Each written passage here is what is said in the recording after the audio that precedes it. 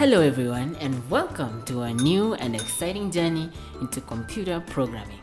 My name is Cornellius, and I'm excited to take you through this amazing journey into the techie and geeky side of life. You soon find yourself providing tech solutions.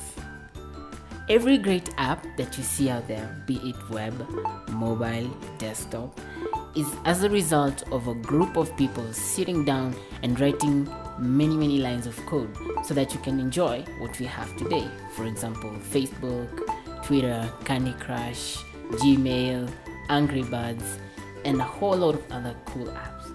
That's programming in a nutshell. It's actually telling the computer what to do systematically following a certain process.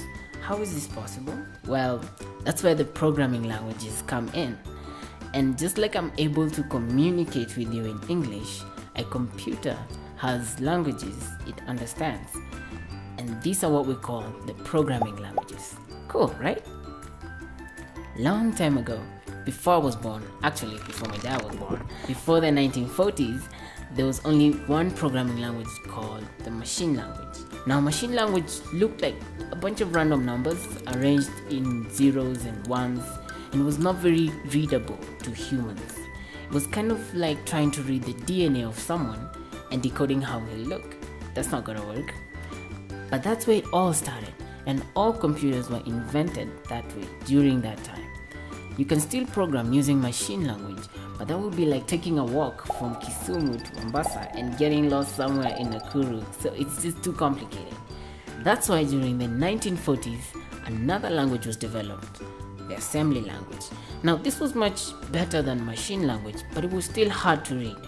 And as technology continued to evolve, we shifted from assembly language to what we have now, the high level languages. Now, high level languages try and copy the English language and therefore are much, much easier to read and understand. There's so many names that are mentioned in the history of programming, but one name stands out Dennis Ritchie. Now, this guy in the 1970s, he created a programming language that is like the father of all these high level languages. That language is referred to as C.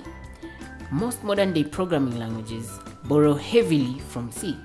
So, what are some of the examples of the modern day programming languages? We have so many, in fact, for every alphabetical letter, there's a programming language, and each of them have a specific function that they perform.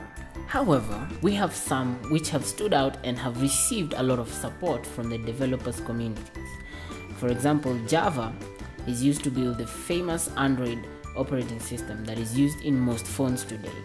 Python made most of Google. PHP was used by Mark Zuckerberg in a dorm room on a diet of pizza and coffee to make Facebook, and many other brilliant examples. Now, on this course, however, we shall learn about three popular languages that you interact with every day without knowing it, and that is HTML, CSS, and JavaScript. These languages are used to build web pages and most of the web content that we interact with every day.